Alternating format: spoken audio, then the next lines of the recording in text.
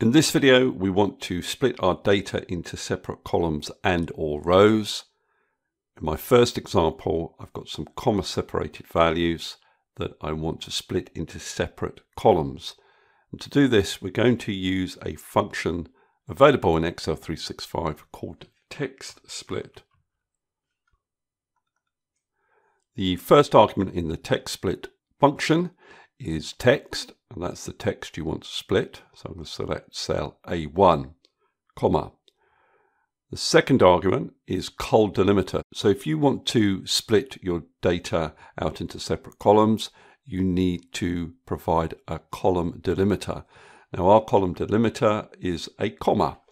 So I put my comma there in quotation marks, close the bracket, press enter, and I get my column headings in separate columns. All I need to do is copy this formula down and it will split the records into separate columns. To autofit my columns and I'm done. Now in this scenario I want to do something different. I want to split the data into separate columns and rows. I'm going to have a column for the player name and a column for the score. Now the delimiter that separates the columns is the equal sign and the delimiter that separates the rows is this comma. Text split. Here's my text. My col delimiter is the equal sign. And my row delimiter is the comma. If I press enter, you can see it splits the data into rows and columns. Now there are a few issues here. I want to deal with this one first. It hasn't successfully split Justina's name from her score, and that's because Justina has a hyphen between her score and her name, whereas we've specified the equal sign as the column delimiter. What I want to do is say that the column delimiter could either be an equal sign or a hyphen. So what I do is I, in brace brackets,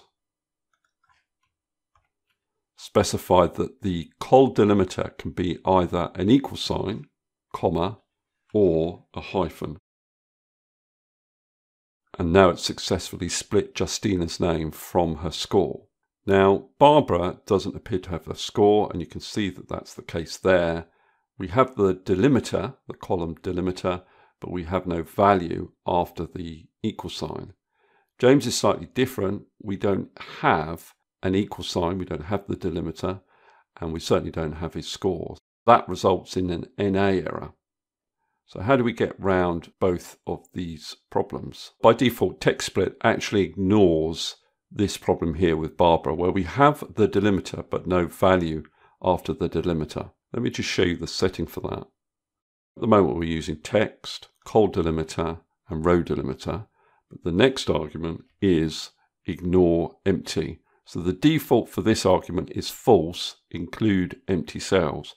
But if I chose true, I would get another NA. So true ignores empty cells. Now text split allows me to replace the NA error with a value of my choice. I might want to say, for example, missing score. And I can do that with the last argument called pad with. So the last argument we've currently used is ignore empty. And the next argument is match mode. Now this is to do with case sensitivity and by default text split is case sensitive, but I'll come on to an exercise where this would be relevant later on. So we'll skip over that. As I said, the default is that it's case sensitive and we're on to pad with. And I can just type in my pad with value, missing score. Obviously because it's a text value, it needs to go in quotation marks.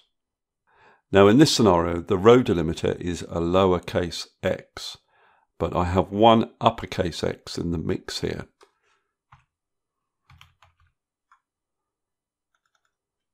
So my text is in A2, my col delimiter is either the equal sign or the hyphen.